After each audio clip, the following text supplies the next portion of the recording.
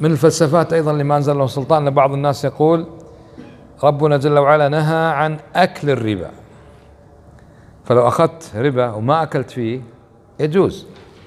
يعني تأخذ ربا مثلا تبني فيه.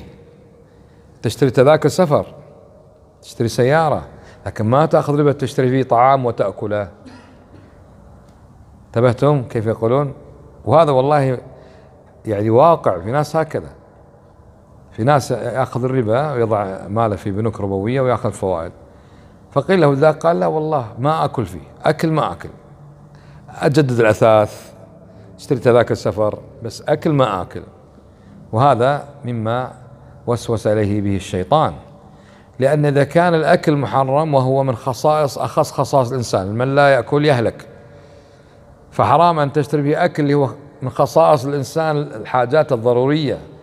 ما يجوز. فكيف عاد تأخذ ربا وتبني فيه أو تغير الاثاث أو إلى آخره؟ إذا كان الأمر كذلك فيعني هذا لما نهى الله عن أكل أموال اليتامى فخذ من أموال اليتامى بس لا تشتري طعام لتأكله. خذ من أموال اليتامى واشتري فيه سيارات. يجوز؟ ما في حد يقول هذا جائز. هذا أخذت أموال اليتامى بالباطل سواء أكلت ولا شربت ولا سافرت ولا أثثت ولا ما يجوز هذا. فبالعكس هذا دليل على أن إذا كان الأكل وهو من حاجة الإنسان الأساسية حرام أن يأكله بالربا أن يأكل من أموال الربا أو يأكل من أموال الأيتام. فكيف عاد حاجة ليست أساسية؟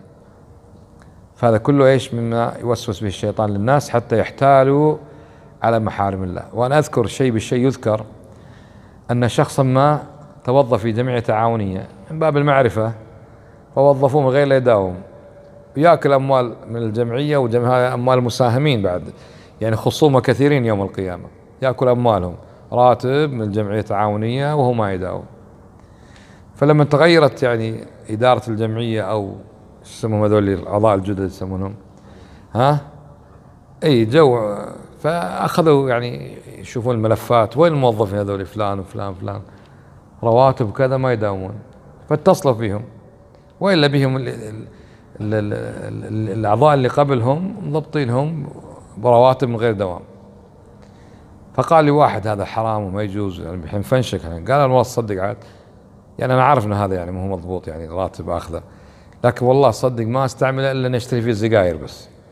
شوف يعني يتأول إنه يعني أشتري زي أصلا سجاير حرام فأشتري فيه سجاير بس أدخن فيه يعني.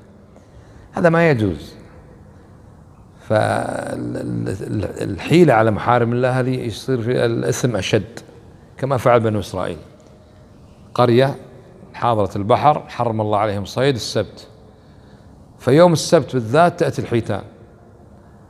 بقية الأيام ما تأتي ابتلاء واختبار من الله. فماذا فعلوا؟ ما صبروا.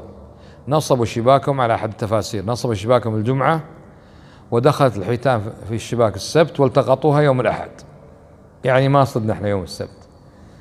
فلعنهم الله ومسخهم قردة وخنازير لأنهم يحتالون على محارم الله. فإياك يا مسلم أن تحتال على محارم الله.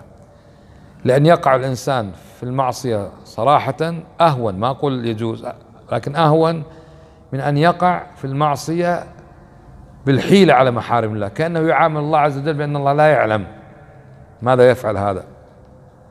فهذا جمع بين أمرين اثنين. بين أنه فعل المعصية وبينه استهان بأمر الله وشك بأن الله لا يعلم فيعامله كما يعامل الناس. هذا لا يجوز فإياك يا مسلم من التحايل على محارم الله